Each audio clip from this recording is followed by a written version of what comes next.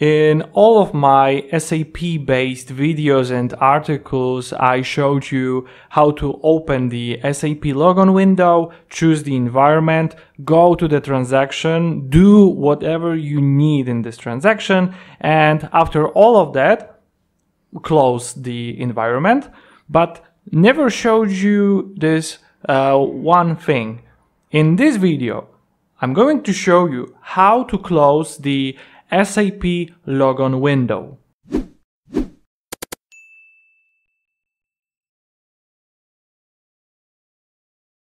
Let's remind ourselves every SAP connection code initialization which I probably used in every article code. So starting from the first line, it opens SAP logon window from the given path using shell function, creates WScript object to get activated SAP logon in the title bar, doing that in the loop, gets SAPGUI into object, which is basically SAP logon window, and connects into given environment. In this video, I will focus on first two points. In given example, I declared and used WScript shell object to wait until the SAP application is activated. Wait till it is fully loaded.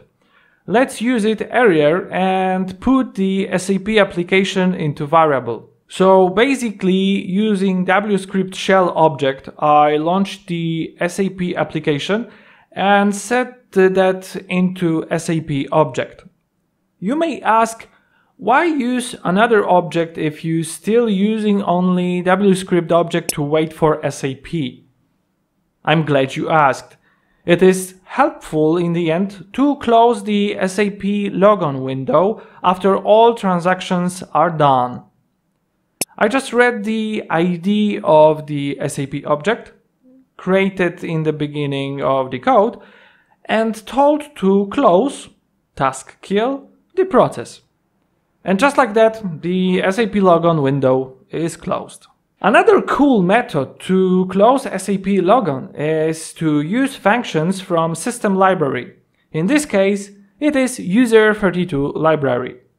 To make magic happen, you need two functions, find window and send message, and one constant. First of all, find the window ID by name using find window function then close the window using found uh, window ID SAP GUI window and constant wm close in the send message function. A little bit longer, but also effective like the first method. Unfortunately, you can use that only if you know the version of SAP.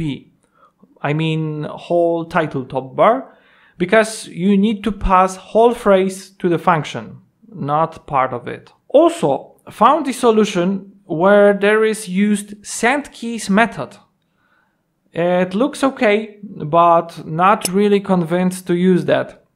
Sometimes it can Alt F4 close not the SAP logon window, but other things. Just showing that as a fun fact, not really as a solution. If you like this video, please leave a like down below and if you want to be updated about my latest uploads, please hit that subscribe button. I really, really appreciate that. Also, check out my website, simpleexcelvba.com and my Facebook profile. Thank you all for watching and see you guys in the next video. Bye bye.